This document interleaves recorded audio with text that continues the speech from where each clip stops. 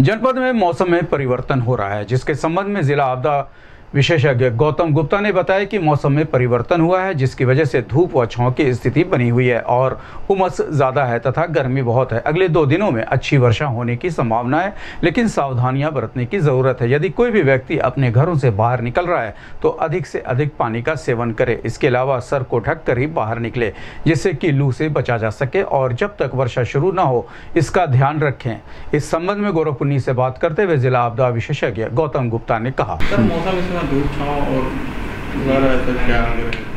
देखिए अभी मौसम अब धीरे धीरे बदल रहा है और आज तो जैसे धूप छाँव की स्थिति बनी हुई लेकिन उमस बहुत ज़्यादा है गर्मी भी, भी बहुत है।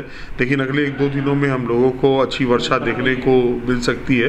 तो हम ये आगामी कुछ दिनों में वर्ष मतलब वर्षा प्रारंभ होगी लेकिन यह मौसम में भी काफ़ी सावधानियाँ बरतने की ज़रूरत है। अ, कोई भी व्यक्ति अगर इस दौरान अपने घरों से बाहर निकल रहा है तो अधिक से अधिक पानी का सेवन करें पानी की बॉटल ले करके चले क्योंकि ह्यूमिडिटी बहुत है और अ, सर सर चेहरे को भी ढक कर के चले।